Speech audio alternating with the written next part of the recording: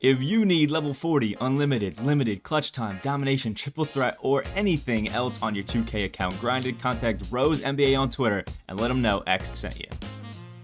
The best power forwards, we're ranking them in one massive, beautiful tier list right here. So let me know your favorite power forward down in the comment section below. And we're going to start it off nice and fun. Um, we, again, have two different um, I guess pages on this tier that you can kind of see like a slight difference between where like the uh, the text is made and stuff like that. So uh, just keep that in mind. Overall, I think it's going to be a pretty fun one to do. It's just it's gonna be a nice time. So we're gonna start it off just nice and quick on this page right here in the hard pass here, where I decided not to fill it up as much just because I didn't really feel like needing to talk too much trash on a bunch of cards. So uh, we're here with my man Terry Cummings, just has jump shot 36, one of the slowest jumpers you could possibly have in the game, and it's just not one that I'm really all that excited about using or going against or anything of that. Just really, nah. Terry Cummings, not good. Um, my man Rick Barry also is another one of the worst jumpers that we have in the game right now in that jump shot 18. Even on quick, it is just absolutely horrible. There's no reason to use this Rick Barry, just not a W. Uh, Luis Scola and Leon Powe both have uh, set shot 16 on normal. I actually kind of like set shot 16, but Luis Scola probably is one of the worst cards that I've ever used in any version of my team. It is crazy, like up there with Sapphire Horace Grant from last year. And Leon Powe uh, has no ability to shoot, has a normal timing jumper for a diamond at nearly June literally do not understand what they were thinking about with that one. Uh, Jonathan Isaac, I actually really like. Super fun card, obviously. Uh, was a OG Sapphire, one of the best cards in the game. It's just problem is now super outdated. Jay Lucas is just no reason, like literally no reason. Ray Allen normal, no thank you. Um, and Dougie Fresh, usually love Doug McDermott cards, but his jumper on normal is so baited. It is literally so bad. Uh, really just not a whole lot of reason to use Doug McDermott over a lot of the other power forward, small forwards that we have in the game right now. Like, just literally no reason. Uh, starting off our still decent tier, we got the man Bob Pettit. Uh, Pettit actually is a pretty solid card if we're being uh, honest in the grand scheme of things. I mean, he's got set shot 14, I think, on quick, but fundamental dribble style just doesn't really do anything too crazy that other power forwards don't, uh, so I just don't really care. Shawn Kemp has a just super beta jumper. It's just one of those jumpers that is just easy to easy to defend, and that's just not really what we're looking for. Um, is a great slasher though, and can rebound pretty well. Uh, so you got to give him a little bit of shout out for that, but it, you know it's not really the most insane thing. Uh, so it doesn't have to be too much shout out, just a little bit.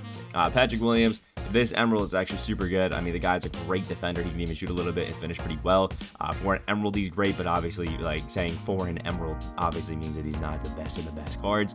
Uh, Pascal Siakam just has 75 on normal, uh, but has good defense. Obi Toppin also has 75 on normal, but um, is a little bit better of a dunker. It's kind of just a pick your poison kind of card. But now that we have the uh, Dark Matter Siakam, I don't really think there's too much of a reason to be using this uh, Opal one to be 100% honest with you. Um, Reese Lucas, basically just Draymond Green without as good of shooting and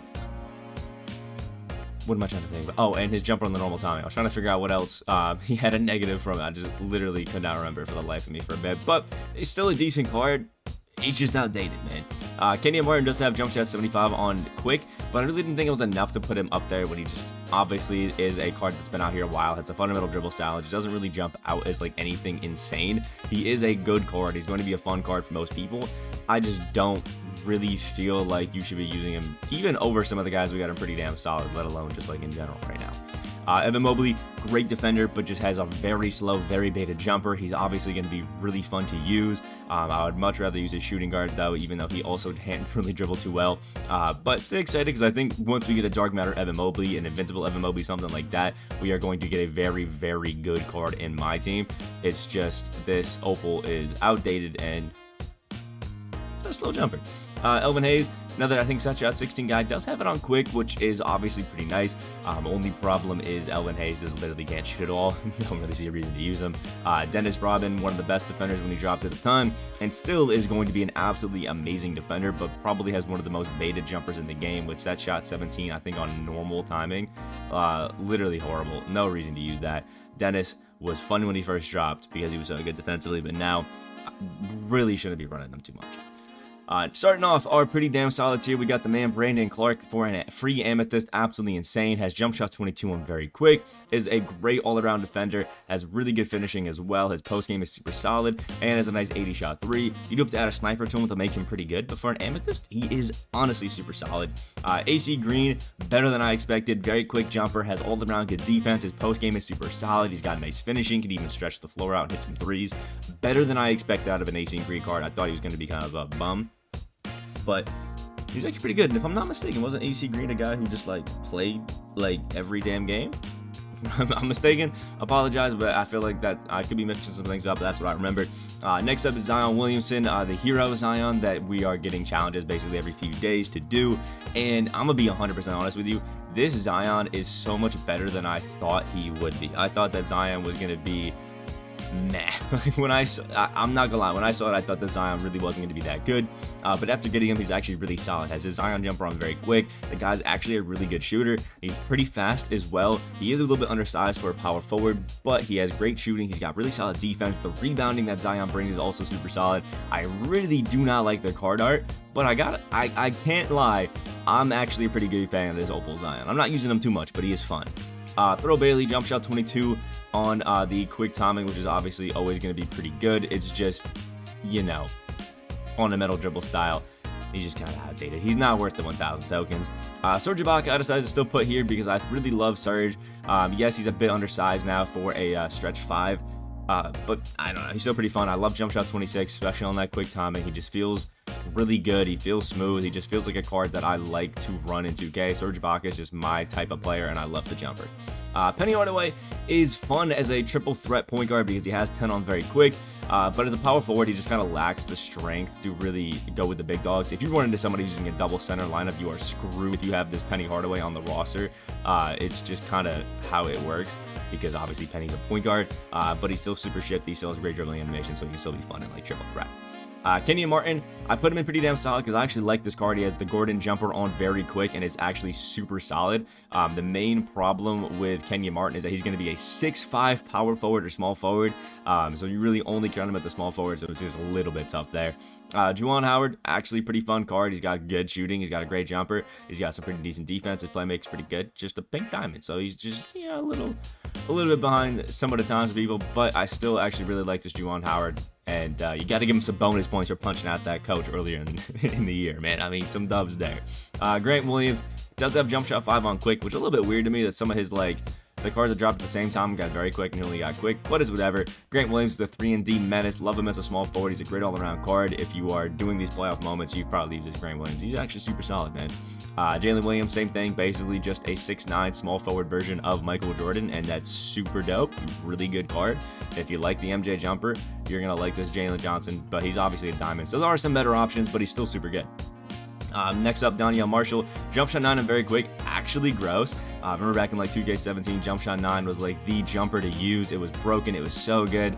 Um, and Donyell Marshall kind of reminds me of that a little bit. So I have a little bit of um, nostalgia for him, but good rebounder. He can finish well. Defense is pretty alright, uh, but I actually really like jump shot 9, so I put him in pretty damn solid.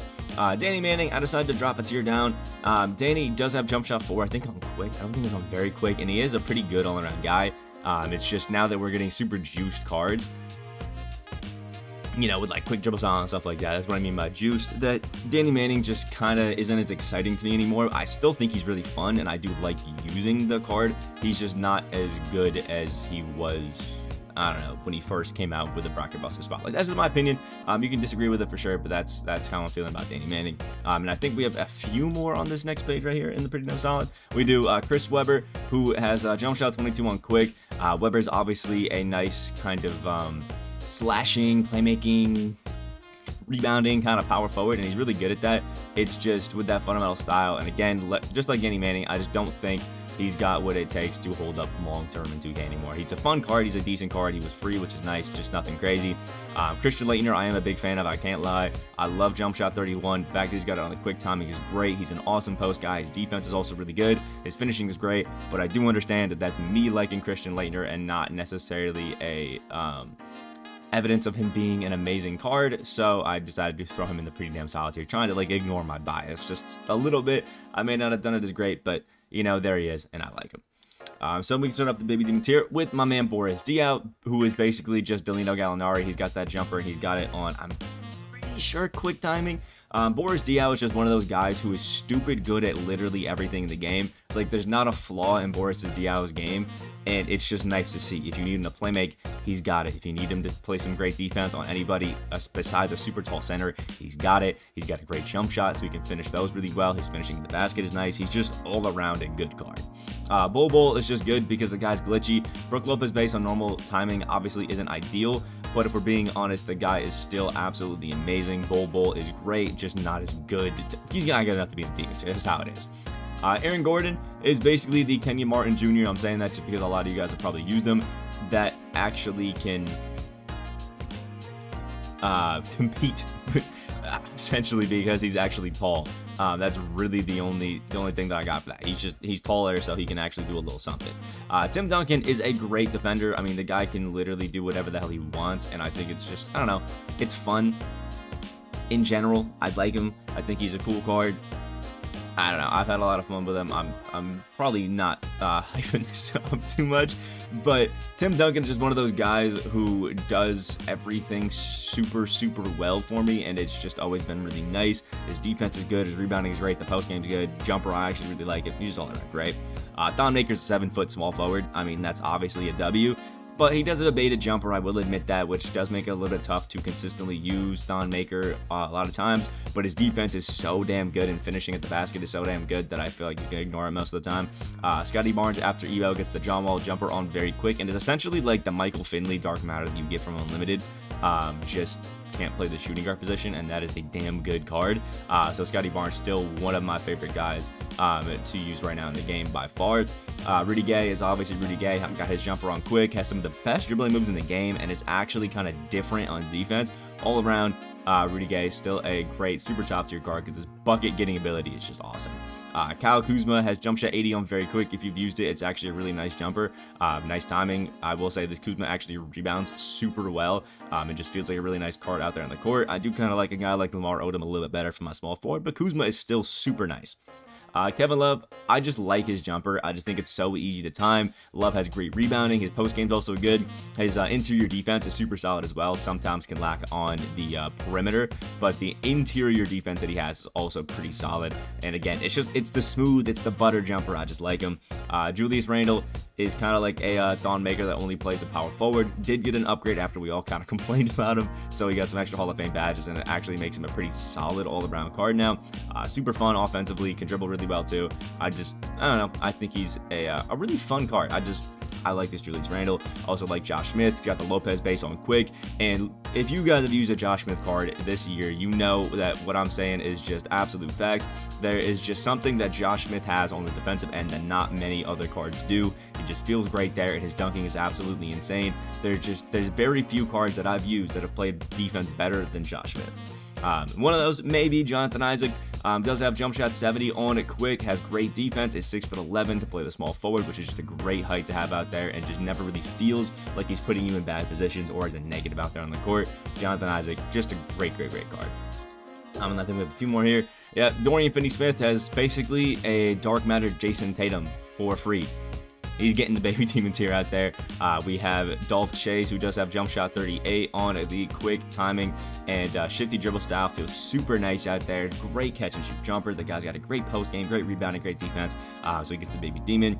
Danny Ferry's got jump shot 98. I think only on, I think it actually might be on very quick, but I feel like it's only on quick.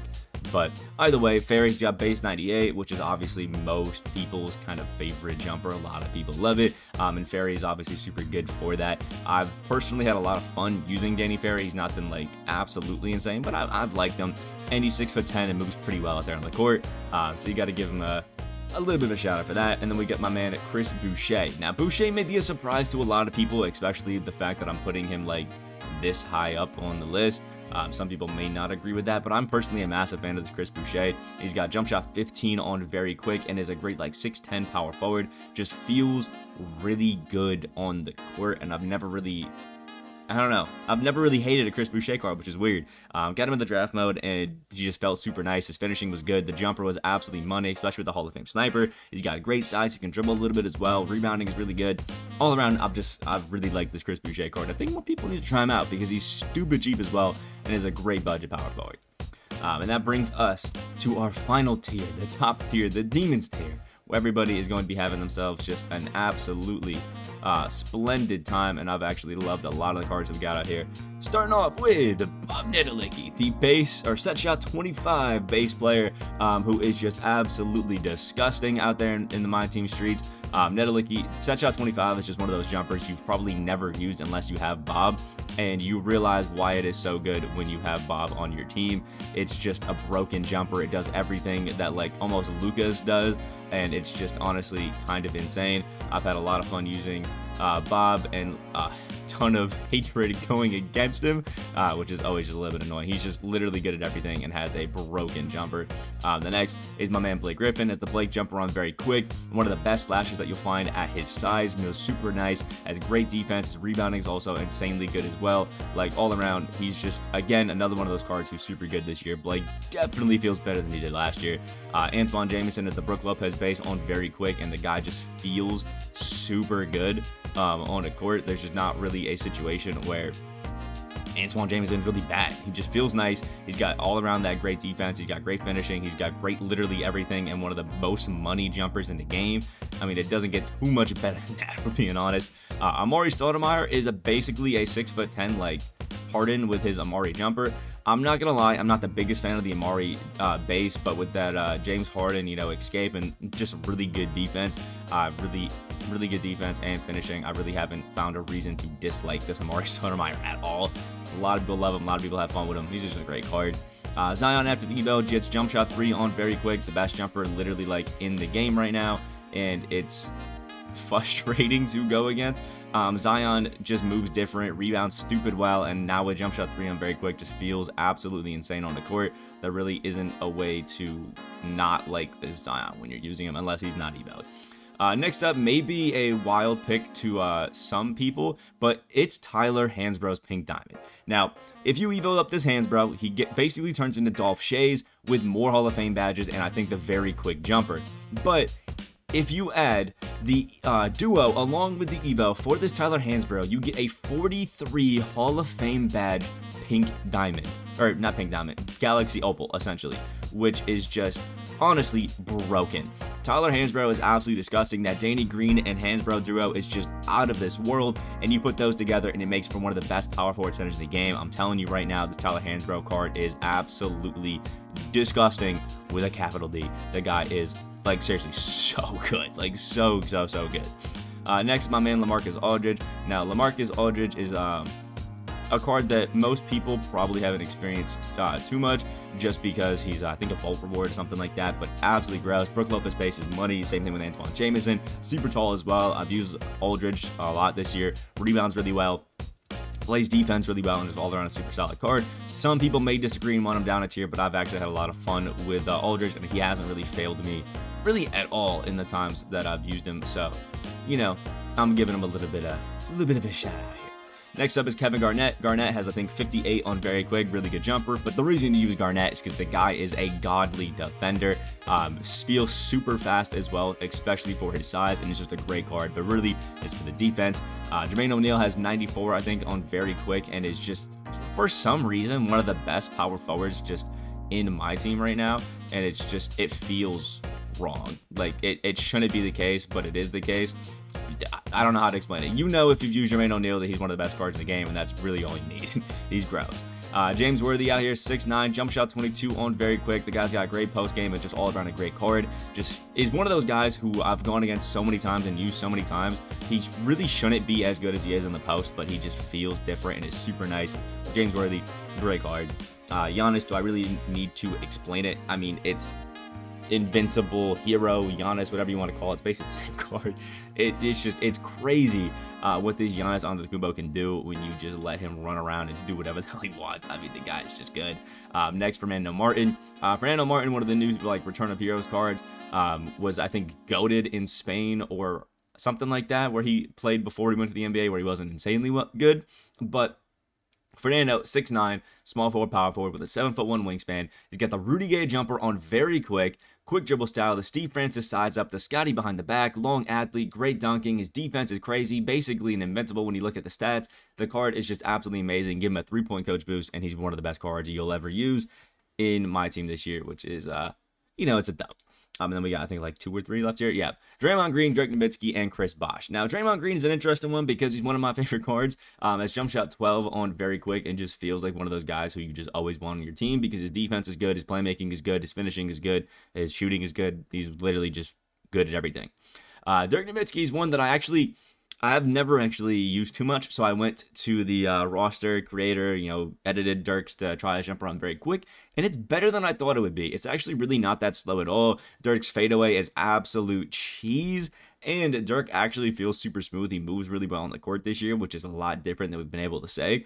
So I'm not gonna lie, Invincible Dirk, I'm still gonna leave in the demons tier. Some people may disagree, and that's perfectly fine. You can move me down to Baby Demon, not really gonna upset me at all. Um, and then Chris Bosh just has jump shot 70 on very quick. Basically, just feels like a a uh, another version of Jonathan Isaac. There he is, global Jonathan Isaac, uh, which is super good, super nice, just with a better post game and better rebounding and finishing which is a really good card. So uh, that's where my power forward tier list ends off here. We have, uh, again, two pages, so make sure you check them out. Uh, like the video, subscribe, all that wonderful stuff. And uh, hope you guys are great today, and I'll see you in the next video.